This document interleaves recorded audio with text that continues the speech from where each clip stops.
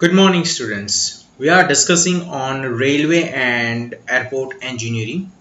Well, we are learning about railway engineering and in the previous lecture we have discussed uh, one of the important component that is rails.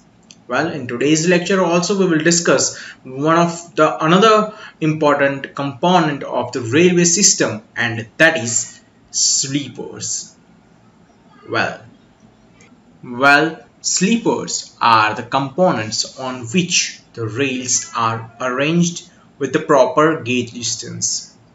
Well, these sleepers uh, generally raised on the ballast and it tie uh, the rails with itself and that's why sometimes uh, sleepers are called as a tie uh, in some of the regions. Well, when the train passes the load those are coming from the trains or the rails. Uh, those are uh, taken by the sleepers and then safely distributed to the ballast. Uh, so this is the major function of sleepers.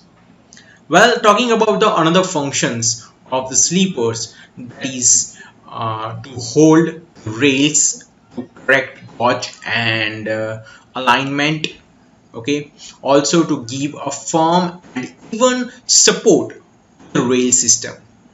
While also transfer and distribute the axle load to rails over a sufficiently large area of the ballast.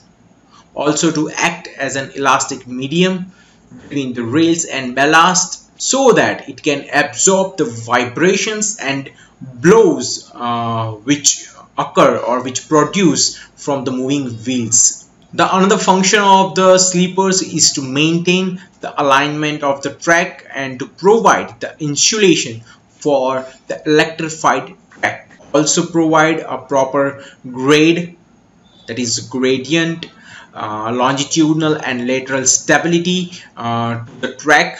The another function is to provide means for easy replacement of the rail fastenings without disturbing the traffic during the service life. So these are some of the another functions of the sleepers. Okay. Now let's see uh, classification or we can say the types of sleepers uh, is being used in the railways. Well this is the classification. Majorly sleepers are being classified into three categories that is the timber or wooden sleepers. The another that is the iron sleeper and the concrete sleeper. So based on the material these three types of sleepers probably used in the railways well iron sleepers are being uh, classified into two another category that is the cast iron sleeper and steel sleepers while the concrete sleepers are being classified as a pre-stressed uh, concrete sleeper and the RCC sleepers. Well, sometimes this uh, uh, pre-stressed sleeper is being also known as the monoblock pre-stressed concrete sleepers. So let's discuss something uh, detail about these sleepers. Okay. Well, the first that was the timber or the wooden sleeper. Well, this wooden sleeper is the most uh, ideal sleeper uh, as it fulfill almost all the requirement for an ideal sleepers. The life of timber sleepers depends upon their ability to resist wear, decay or the attack of vermin. You know, that is a kind of, uh, you know, white ants and the quality of the timber used. Okay. But all in all this is a kind of ideal sleeper we can say because it fulfill almost all the requirements expecting some of the disadvantages okay while uh, talking about some of the types of sleepers that we used that is the you know teak wood sal wood then uh, you know deodar feed or cheer wood okay? So these are some of the uh, material of wood or we can say the type of woods or the timber that we probably used for constructing this wooden sleepers. While the size of the wooden sleeper should be economical and it should provide desired strength to the sleeper as a you know uh, working as a beam as well as as a adequate bearing area. And for that some of the crucial location or for the crucial places. You know uh, the size of the sleeper is being kept uh, about 25 centimeter by 20, 15 centimeter uh, or 25 centimeter by 18 centimeter. Exactly talking about the bridge and the points or the crossings okay? Such type of uh, sleeper or such size of the sleeper is being placed well uh, as per the uh, cross sections of the sleepers okay probably there are total three different types of cross sectional of the wooden sleeper is been observed the first that is the pole sleeper or it, it is known as the Ica uh, sleeper also. Well as uh, shown in the figure this Ica sleeper or the box hearted sleepers this has been observed when uh, you know pith is found at the center of the cross section. Well the second that is the slab sleeper. Uh, this has been observed when the it uh, is at uh, one edge of a sleeper and this is obtained when two sleepers are got from a single girth and the quarter sleeper is being observed and the pith is at uh, the corner of uh, cross section. This is obtained when four sleepers are got from a single girth. So this is some of the uh, classification uh, based on its cross section. And if we say the material that we use that is the teak wood salwood deodar feed and the cheer woods okay? Uh, and as per the you know dimensions we can say at a bridge side or at the points and crossings we probably use 25 by 15 or 25 by 18 centimeter of sleepers well then uh, if we discuss about uh, iron sleepers well, uh, iron sleeper was classified into two categories, the steel sleepers and the cast iron sleepers. Okay, first let's discuss about the steel sleepers. Uh, so this is how it simply looks. Well, about 27% of the track of Indian Railway is laid on the steel sleepers. Okay, uh, the increasing in shortage of the timber in India and other economical factors are responsible for the use of such steel sleepers in the India. Well, the steel trough sleepers essentially consist of a rolled steel plate of about 2 millimeter thickness placed into a suitable uh, trough shape and uh, the rail that is uh, being canted or elevated at a 1 in 20 gradient. The ends of the rolled section are flattened uh, in a shape of uh, you know spade to retain the ballast. Well talking about some of the types of uh, steel sleepers okay? That is the first one that is the key type of sleeper. Well uh, talking about this key type of sleeper uh, you know uh, it has two subtype that is lugs or the jaw pressed out of metal and loose jaw type sleepers. Both are shown in the figure. While the ski type of sleeper uh, keys or the wedges are used for holding the rails in pressed up lugs uh, or in the loose jaw these are you know tightened in a holes of the sleepers well these lugs are cut and pressed to correct shape at the rail seat the rails are fixed in these lugs either with a wedge or the key one on either side of the foot rails the second type that is the clip bolt type. Well, in this type, bolts and clips are used for holding the rail. As the holes for the bolts uh, are small and circular, there is a little possibility of crack developing through them.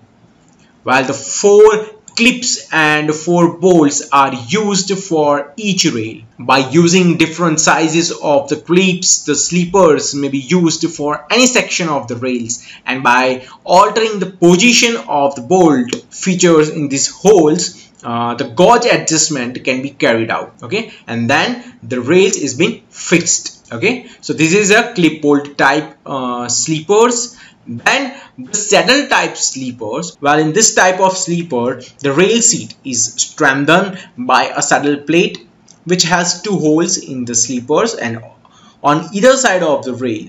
Okay the object is then to strengthen the rail seat while nowadays in India loose jaw type sleepers are most commonly used and some of the clip bolt while the next that is the cast iron sleepers. While the cast iron sleepers are being extensively used on the Indian Railway and at present about 45% of the tracks are made up of cast iron. While talking about some of the classification of the cast iron sleepers, the pot or bowl sleeper is being used uh, when the second that is the plate sleepers are also used then CST9 sleepers and duplex sleepers are used. While talking about this pot and bowl type of sleepers which is being uh, which is a kind of uh, cast iron sleeper well uh, this pot sleepers consist of two balls placed under each rail and connected with a tie bar on the top of the each pot keys on top of the each pot keys are provided to hold the rails in a proper position and also the inward slope of the rail seat is provided at the grade or the cant that is provided to the sleepers that is 1 in 20 okay? Uh, a plate sleepers consist of two rectangular plates. These plates are held in the position and direction for using the timers. while talking about the most important and that is the CST9 sleepers it is a combination of a plat and box and the plot sleepers. CST9 sleepers are most satisfactory in uh, other cast iron sleepers uh, and uh, have been you know extensively used in Indian railways while duplex sleepers are uh, used in conjunctions with uh, CST9 sleepers these sleepers are used at the rail joints to prevent the cantilever action between two supports of the CST9 sleepers. Now the third type of sleeper is the concrete sleepers. Well, in the concrete sleeper, we have two different type of sleepers, reinforced concrete sleepers and monoblock pre-stressed concrete sleepers.